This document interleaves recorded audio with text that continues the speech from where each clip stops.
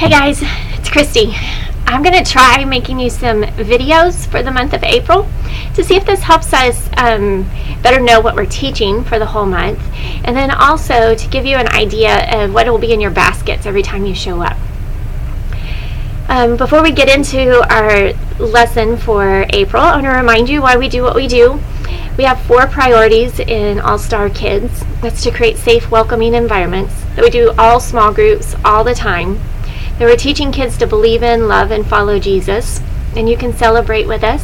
We had about six kids baptized this last weekend, and I expect about that many more for April. And that's one of the ways we measure whether we're um, reaching kids and teaching them about Jesus. And then we're also partnering with parents. Let's think for a minute. Have you ever been to a birthday party for a two year old? Who was that party for? Were there other two year olds there that thought the party was just for them? How about an older sibling?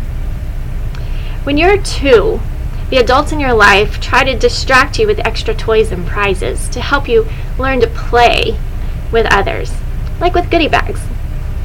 But what happens when kids turn 9 or 10, or even 30 or 40 like us, and we're still working to convince ourselves and others that the world revolves around? In their book Egonomics, Steven Smith and David Marcum reveal three things that show that you might be more self focused. Those are you see everyone as a rival, even if you're on the same team. You take it personal when someone disagrees with you. And then there is a lack of graciousness when you lose or in defeat. When I heard these things, I had to do some soul searching because of my response to people around me sometimes. Why would ego be something we talk about when it comes to teaching kids to believe in, love, and follow Jesus? I like to think that Selfishness is the opposite character trait to humility. In fact, this month we will focus on humility, and sometimes we need to look at things upside down to see it right side up. We're talking about humility all the month of April, and that might seem like a crazy topic to cover when we head into Easter, but hang with me. Humility is learning to put others first by giving up what you think you deserve.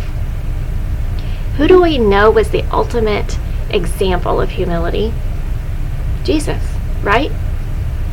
How did he show his greatest act of humility? Through the events that led to his death on the cross.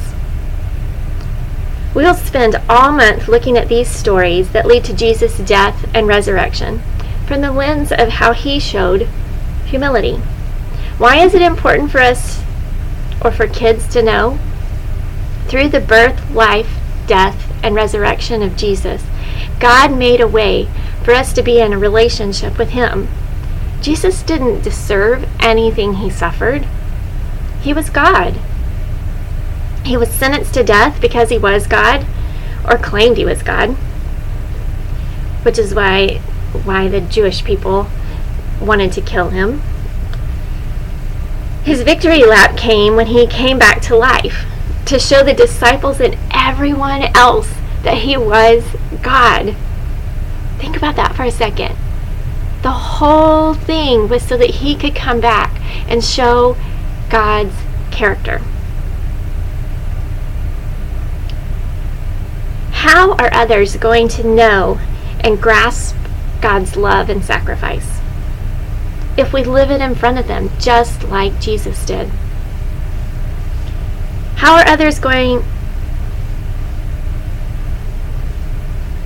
So, everything we encounter gives us the opportunity to, to ask, how can Jesus be glorified in this? Not how Kristi or Sam or Andrew or Josh be glorified or made to feel better. How can Jesus be glorified? That changes every relationship we have. I'm so excited to celebrate Jesus' resurrection this year with all of you. Remember, as we lead with kids, the time we spend with them is not wasted. Every minute you're in the same area as a kid is a chance to make a new and deeper connection with them. not in a creepy way, but through our relationships, we have time and understanding to help them see Jesus in a new light. So when you get to All Star Kids this month, think about who you're going to take time to get to know better. And putting aside you, because we're learning about humility this month, for a few minutes, what is the kid's biggest wish or fear? Check out the other videos. I'm excited to try this with you guys, and I'd love to hear your feedback. We'll talk to you soon.